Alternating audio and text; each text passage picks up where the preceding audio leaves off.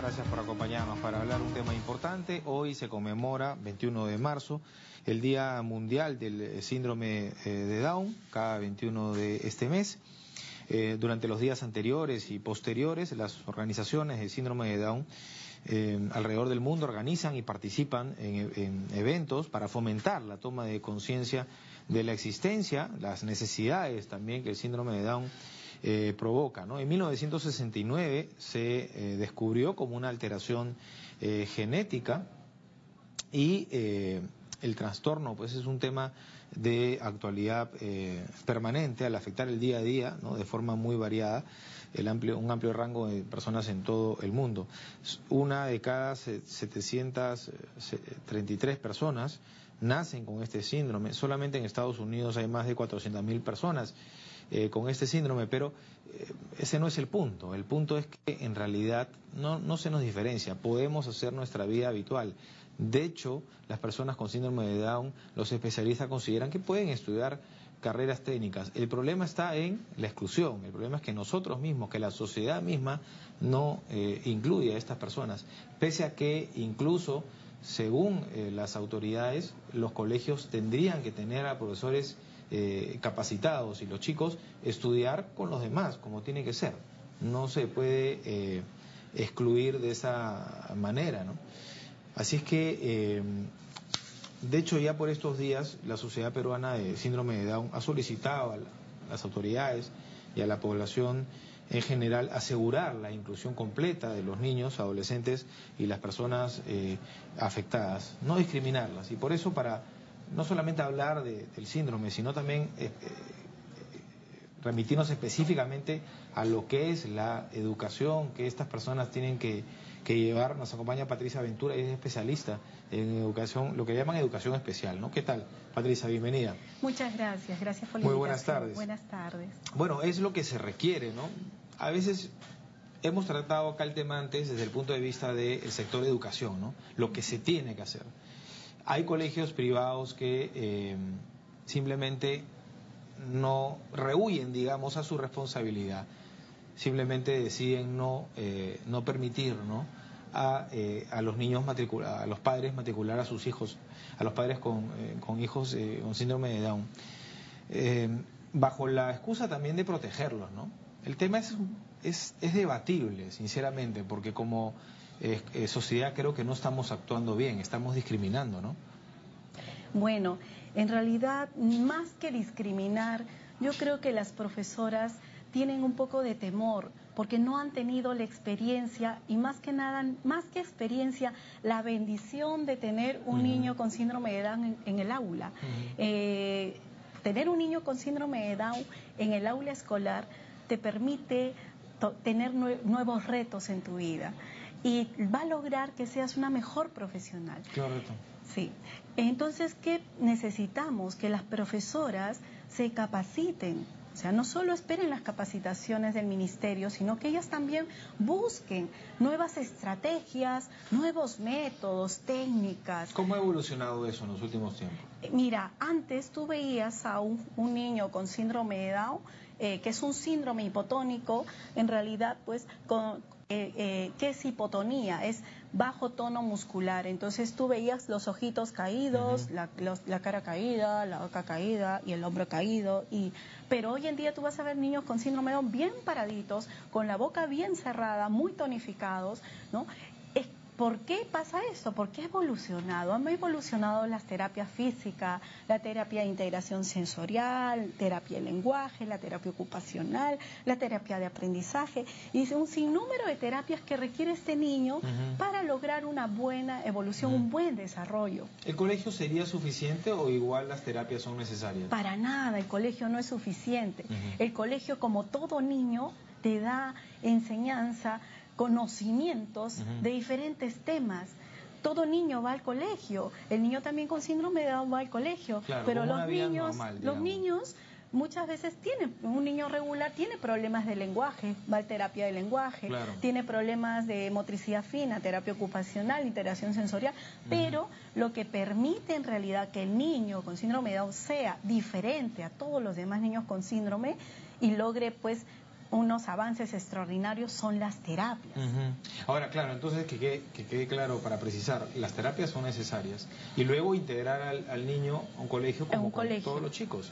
Un colegio regular, tú lo has dicho, integrar, integrar a un colegio regular. Justo me contaba en la mañana un papá que su niño iba a un centro con otros niños con síndrome de Down y es muy pequeñito, dice que el niño aprendía todo, que el niñito pegaba, eh, el niño también, que movía sus manitos, él también, tan pequeñito. Entonces, ¿Era un colegio privado? Eh, eh, no, no un colegio, un, centro? un, centro? pero con otros niños con síndrome de Down, con autismo. Entonces el papá se preocupó porque su niño estaba aprendiendo otras conductas inadecuadas. Entonces el papá los papás desean, y me parece que es el mejor deseo, desean incluir a sus hijos a un colegio regular. Ahora, el problema es, ¿me abren las puertas o no? Y no las abren, ¿no? Y no las abren. O sea, eh, de repente a nivel, a nivel este, en, en colegios públicos sí, porque el ministerio las prepara y, entonces hay una pero ojo que también hay, pero igual, ojo, también hay eh, en muchos casos no hay, no hay capacitaciones o hay profesores que no están capacitados, ojo. ¿ah? O también pasa lo otro, porque hay que, hay que reconocerlo. Uno puede tener muy buena voluntad y, ser positivo en ese asunto, optimista, pero lo cierto es que tampoco como sociedad muchas veces nos preparan para eso y los otros niños no se portan bien con el niño que tiene síndrome de Down, ¿no? Eso también, yo imagino que es una buena oportunidad el colegio para enseñarle a los otros niños a que todos somos iguales. En realidad es una excelente oportunidad y también los niños no van sin que antes no se ha creado el clima de aceptación, de sensibilización. O sea, los niños sí quieren a los niños con síndrome de Down, los quieren y los protegen, los ayudan. O sea, los niños son las personas más eh, buenas realmente. El, adulto de repente no, pero los niños son muy solidarios. Correcto, pero si los colegios los excluyen, a ese punto hoy, ¿no? Los excluyen, no, yo no creo en eso de que no, es que no estamos preparados. Yo creo que no hay voluntad nada más. por alguna razón. Si así es que hay colegios que te dicen de repente, señora, no sabemos, o sea, no te dicen, no pueden, no puede entrar aquí el niño, sino que te dicen, o sea, te hablo de colegios privados y algunos de buen nivel que te dicen, no señora, ni, o sea, para tener un niño de dos añitos, de un año, tres años, no señora, no estamos preparados, le, les sugiero que vaya a otro colegio. Entonces, en realidad, como tú mismo lo has dicho, no hay voluntad o no hay esa capacidad de crearme un reto, tener un reto en mi vida, ¿no? Exacto. Algo que me eh, ayude a ser mejor persona. Yo creo que no hay, sinceramente creo que no hay voluntad, por temor a qué, no entiendo, ¿no? Pero bueno, como sociedad tenemos que también evolucionar y darnos cuenta de que esto es un síndrome, pero es una, es una condición del momento y que además, dicho sea de paso, con las terapias hace que no se note prácticamente. Es impresionante. Este, Tú lo has dicho, o sea, un niño con síndrome de Down que inicia sus terapias desde temprano, al año ya está, antes del año, desde que nace hace las terapias físicas. Eh, a, la edad, al año, al año y medio ya están caminando. A los dos años, o ahí inmediatamente empiezan la terapia de lenguaje y a los dos años están diciendo palabras y hasta frases. Tengo el caso de niños eh, en el Centro Internacional de Logopedia Aventura, niños de dos años leyendo y lo pueden ver en YouTube. Los niños dicen ma, me, po, oh, uy, y dice, ¿qué dice acá? Y te dicen, y nosotros usamos unas estrategias que le ayuda a recordar al niño. O sea, a veces le decimos, tú le dices, ¿qué dice aquí? Le enseñas la I, pero el niño no te dice. Pero si le haces así, y te dice, ¡y!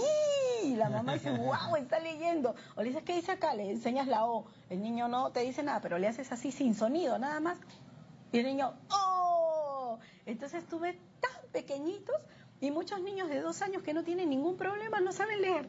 Y tú los ves que después les quitas cualquier ayuda, cualquier apoyo de kinemas y el niñito ya sabe leer.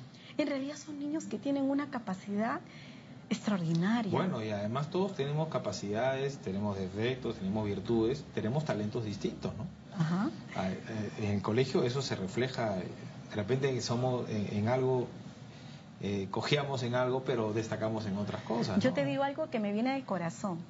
O sea, cuando tú tienes un niño con síndrome de Down en tu salón, en tu centro de terapia, realmente te llena de bendiciones. De bendición, Y te llena de un amor impresionante. O sea, la vida te va, es diferente. ¿Qué preparación debería de tener en ese caso, ¿no? en esa misma línea de lo que estamos hablando, un profesor dentro de un aula donde hay niños regulares que le llaman ustedes y también un niño, uno o dos niños con síndrome de Down? Un profesor debe conocer de todo, todas las terapias. Debe saber un poco de integración sensorial, porque hay niños con síndrome de Down que no les gusta tocar, la plastelina o las masas. hay eh, que saber reaccionar en ese momento. uno tiene que estar preparado. Tiene que tener paciencia también. Paciencia. Tienes que saber un poco de terapia eh, ocupacional, porque son niños hipotónicos. Tienes que saber de terapia del lenguaje. Eso es lo más importante. ¿Por qué? Porque el niño necesita comunicarse. Entonces, si, si, ¿qué pasa? El papá va a estar llevando todas las terapias que son costosas, en realidad una excelente terapia es costosa, pues eh, si no los ayudamos, esos padres, pues, ¿dónde? O sea, hay muchos que no tienen posibilidades, los profesores tienen que comprometerse, tienen que aprender para poder también a los padres apoyar. Enseñarles. Ahora Los, padres requieren también de, de... los padres requieren de capacitación. capacitación un padre capacitado, un padre entrenado, es un gran tesoro para su hijo. En realidad muchos, ahora ya no hay uno ni dos, no hay solo un Pablo, un Pablo Pineda de España que es, estudió en la universidad. Hay muchos jóvenes con síndrome de Down que están estudiando carreras técnicas, que están yendo a la universidad. Eh, acá en el Perú. la con normalidad, como debe ser. Y así es. O sea, incluso hay una propaganda, tú ves, eh, que la señora entra y le dice, este, ¿dónde está el...? Y si la señorita con síndrome de Down le dice, sí, está aquí a la derecha, va por el frente, y la señora se quedó. O sea, tenemos que romper paradigmas. o sea, en realidad eh, antes se pensaba que ellos no lograban, ¿no? no llegaremos, al, llegaremos al momento en que no vamos a exigir que los, que los contraten el trabajo, sino va a ser, digamos, normal, como si no pasara nada, digamos, se, se ganan solos el puesto, ¿no? Y se ganan y son, creo que son los mejores trabajadores. Como de hecho ha cambiado la mentalidad y con esto eh, termino de los propios padres, ¿no? Antiguamente mucho mucho temor, ¿no? Mucho miedo, mucho prejuicio. Ellos mismos ahora han cambiado, ¿no? Porque si ellos les transmiten ese temor a los hijos, entonces no van a avanzar tampoco, ¿no? Claro, a veces piensan, no, este niño como no va a avanzar, ya no le hago nada. En cambio el otro sí, porque el otro sí puede. Entonces, al contrario, él necesita. Yo les digo a los papás, el que menos piensa, el que realmente tú pensabas que no te iba a dar nada, el otro se va, se casa y chao. El otro te va a dar su sueldo, te va hasta mantener, de verdad. Claro, yo digo en el sentido de, no, por ejemplo, no, no lo voy a llevar al colegio porque lo van a, van a discriminar, se van a burlar, qué sé yo. No lo voy a sacar porque se va a sentir mal. Yo creo que hay que ya desterrar esos prejuicios uno mismo, ¿no? Porque ya ni siquiera pedirle a la sociedad los mismos padres muchas veces transmiten ese temor y esa inseguridad, ¿no? Ellos ponen límites, ¿no? Y mucha inseguridad también a los hijos, ¿no? Yo les digo a los papás, no, no tengas límites, sueña, persevera. Ahora, ¿quiénes salen adelante? Los hijos de padres comprometidos con el desarrollo de sus hijos. Un padre comprometido que ayuda a su hijo y que no tiene límites, en realidad pues tiene hijos realmente muy exitosos. Vamos a terminar con eso, con esa reflexión, ¿no? Acaba de señalar claramente persevera, ¿no? los objetivos, las metas. Estos niños también tienen esos sueños, como cualquiera, ¿no? Ayudémoslo a cumplirlos, ¿no? Gracias por haber venido. Gracias a ti. Felicitaciones, además, porque dice las cosas con tanto cariño que da gusto, ¿no? Que no solamente porque hace algo que, que, le gusta, sino que se ha capacitado para ello y lo hace con, con, con, mucho amor, ¿no? Y eso es lo que necesitan estos niños, ¿no? Amor y poder salir adelante eh, gracias a sus padres, gracias a que trabajan las eh, terapias, no, no le rehuyan a las terapias. Y el Ministerio de Educación tiene la obligación, ya no solamente de exigirle a los, a los colegios de, públicos, sino también a los, a los, eh, a los privados también, a eh, exigirles, ¿no? Que, que, digamos que le pongan énfasis a este asunto, ¿no? Y que cumplan con su responsabilidad, porque ahí hay una responsabilidad también social, ¿no? No, no La educación no está ni para lucrar ni para sacar provecho, está para atender a los niños que eh, requieren, que requieren de ella. Gracias eh, a Patricia Ventura, muy amable. Gracias a ti.